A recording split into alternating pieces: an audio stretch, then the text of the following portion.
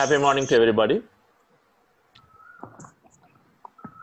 A wonderful afternoon and a great evening.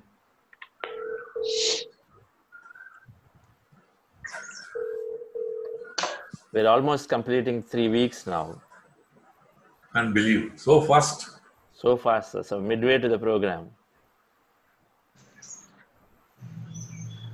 Tomorrow, we'll be sending a self assessment questionnaire to understand how we have improved from day 1 to day 20 21 so it'll be a good way to sort of contemplate upon and reflect upon our own self. That questionnaire is maybe takes about 10 minutes about 10 questions. Some of you have been in the past program have done that so it'll be good to go through that and see how we are progressing. So that we'll do tomorrow so that by the time we finish 20 days 21 days so that you can fill that up and back send it back to us.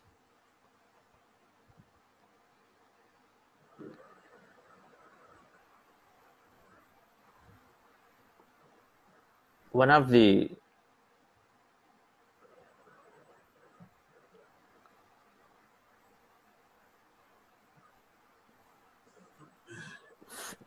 I would say core or final principles of the manifestation is that when we do that dreaming or visualization or whatever, after we come out of meditation,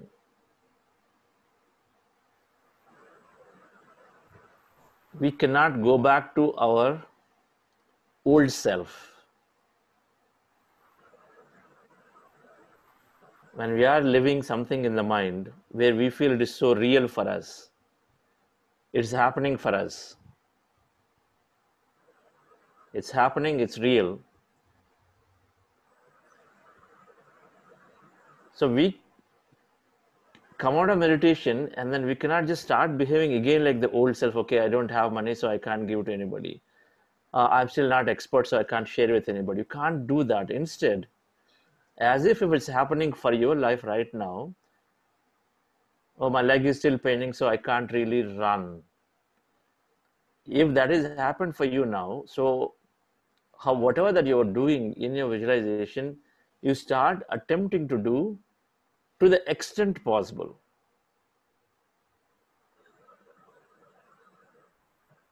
We have to start living. We it's about believing truly that yes, I'm a new system, new beliefs are there. So then you start applying it. Don't wait for something to happen and a platter coming, right? Instead, you start applying. We have to start living that new life from now. So you wanted to contribute. If you had that raise, you wanted to contribute to some project. Don't wait for the raise to happen for you to contribute in monetarily. If you want to contribute 5,000 rupees a month, now you contribute 5 rupees a month. But feel that abundance and then do it start with what you have. You want to do 3 kilometer run every day if you get better with say knees. Do it now, maybe 100 meters just 100 meters i'm sure you can do 100 meters those who cannot move at all take those one two steps but we have to live as if that future is happening to us that means that we truly truly believe that it is true it is true so we have to exhibit that demonstrate that to the best extent possible and this is the time we push ourselves beyond the comfort zone if it is comfort zone, then you say, no, no, I can't. I'm going to fall off. If I get off the chair, I'm going to fall off. So that's because we got used to a certain level of comfort zone based out of fear. So, but we got to push ourselves a little bit, a little bit in every day. In every visualization that you had, if you wanted to, for example, plan a holiday, an international holiday, for example, is going to feel good about it. Do something now don't wait for that thing to come and then say, okay, that international holiday will never come after a year, two, three, four years. But do something, now, some holiday locally. Go with the family for a small outing, whatever. But do in a smaller scale or to the larger scale feel as if it's happening and you've got to do it. If you want to take larger responsibility, then promotion is giving you larger responsibility. But then what stops you from taking responsibility now? You can ask for something more within what you have. And then take that because that's one thing that feels you, gives you happiness. And then you take that and then ask, talk to your managers and then take something new. I mean, companies are always encouraging to do something different. So, like that, when we come out of the manifestation visualizations, we cannot go back. We have to avoid going back to the old self, and then you got to be in that new self, with that new belief that you formed that this that was no longer me.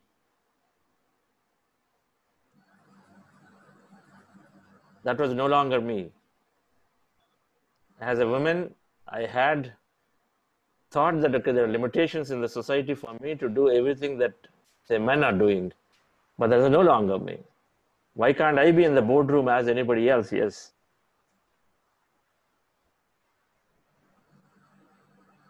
Many feel guilty whether I'm taking care of my children properly, taking care of family properly because I'm working. So then in a lot of times they carry the guilt feeling. No. You're doing to the best of your ability. So that's no longer me now. It's not there. So whatever that you stopped from doing because of that feeling, now you anyway you're visualizing. So you do that to the extent possible now. So visualization, manifestation works great when we start living as a new self from now, not waiting for something to happen. But when you start doing it, because then yesterday what Warren was keep saying, that the universe is conspiring to come in and help. So that, so whatever that we were in that comfort zone, everything that you're visualizing is pushing you beyond the comfort zone. And whatever that we were in the comfort zone, we got to come out of the comfort zone, which is always holding us back because of fear. Only fear is holding us back. And we set into sort of a nice comfort zone and say, okay, this is good, this is good, so let me not step out of the boundary. But in this thing, we move ourselves beyond the comfort zone. We got to do that.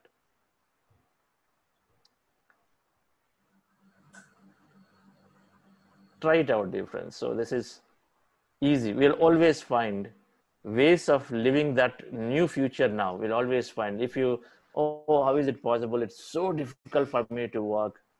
Already i'm having tough time to meet my ends. So where is the question of me contributing something?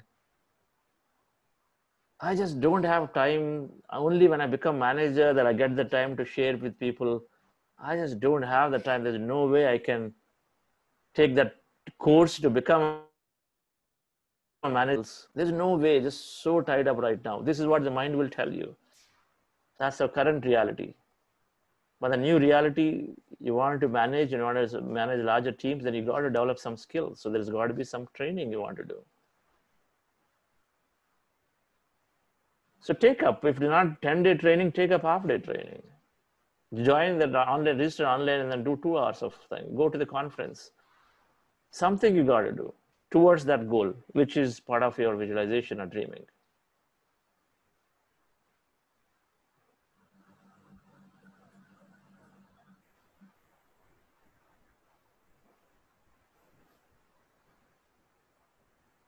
Let's go into um, breath mindfulness meditation once again, dear friends.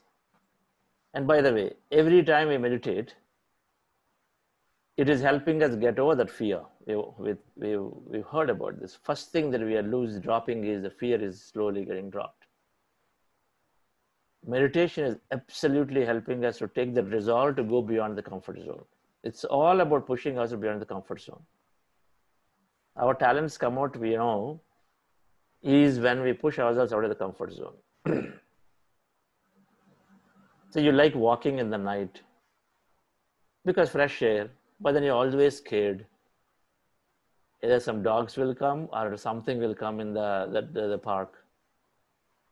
So a comfort zone. There is a fear because of which you know, we just put ourselves in a comfort zone. We only go in the daytime. But just break that fear. How do you break that fear? Just jump in and do one time. That's all. It requires one time to do. Robin Sharma gives a lot of these small, small tips. Think there is a book here, The Saint Surfer and the CEO. Start with monk, monk who sold his Ferrari. To overcome fear, one of the great ways is to jump in and do that one time. And the first time, and when we do that with a lot of courage, we muster all the courage and say, I'm doing it. What happens? What happens? What's the worst case? It's like fear of looking bad, fear of that scare, then you suddenly get scared. So maybe you'll at worst you run away, right? That's all. If the dog chases at you, what happens? Maybe a small hurt. Fear of that, fear of bad health. That's why you're not venturing out. Fear of losing uh, health. There are many such fear, fear of looking bad. So fear of failure. Just get out of it and then do once with muster courage, and then automatically we will. Second time it becomes so easy, and a third time is just becoming. You already got past it. By the way, fear is also the number, first barrier out of the four barriers in any progress, and so is for the spiritual progress. We go into deep meditation, suddenly body becomes cold, or suddenly, you know, one part of the head is spinning and something else is happening, then we say, okay, no, withdraw. This is not for me. This is like something I can't understand it, so let me put it aside. And people pull back. Everything in meditation is great there's no harm at all. All we're doing is relaxing the body. So all whatever the experience we're having, we are definitely pass every stage of those experience will pass. Usually within the six weeks, we will pass. That extra energy in the body, extra sensation of the body, many, many out of the body kind of experiences, all of that we will go past it in the first six weeks. And then by then we'll understand. Go past means we'll understand why something is happening to us a lot more deeply. So we will not worry about anymore. Relax yourself dear friends. And those of you who join new welcome to this program we are doing six week mindfulness meditation we are into the third week ending the meditation technique that we follow is breath mindfulness meditation, which means we are aware of our normal natural breath for the whole duration. Goal is to empty our mind, and when we observe natural breath, we empty the mind. And the posture is very, very comfortable posture. And for that, we remove our specs. We close our eyes, fingers into fingers, like that and then rest your hands comfortably in your lap. Cross your feet at ankle. Three things crossing the feet, fingers into fingers, clasping hands together, and then rest them comfortably, and then eyes closed. That's from the body, and then sit a comfortable posture.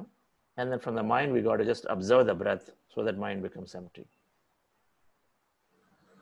We observe the breath so mind activity has to be only on the breath, now normal natural breath, and then mind becomes empty slowly, slowly. So before we start, we're doing something called elevating our heart. So feeling love, gratitude, compassion, one of those higher emotions in our heart. Any of them, not all of them. If you can do multiple, it's great. But you know, if you have had a great moment with a child, we felt so much loving to a child. So recollect an emotion of the past and then feel good about it in your heart, expand your heart, open your heart. A lot of people have kind of, kind of question. I don't open heart. What is that opening or elevating heart? It's tough for me. It happens.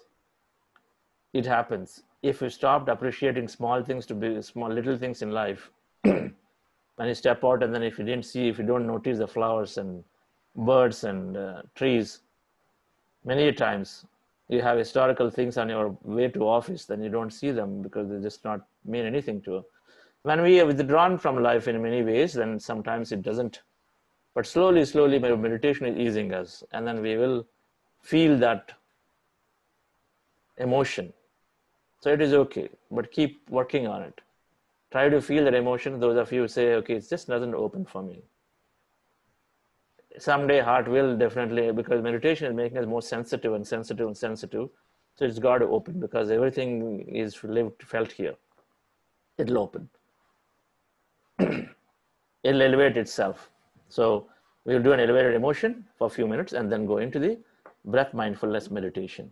I will clearly call out as part of my guidance so you know when to switch to the breath mindfulness meditation and then towards the end we are doing gratitude. We'll express gratitude for everything and everybody in our life and close the meditation that way. Relax yourself. Sit comfortably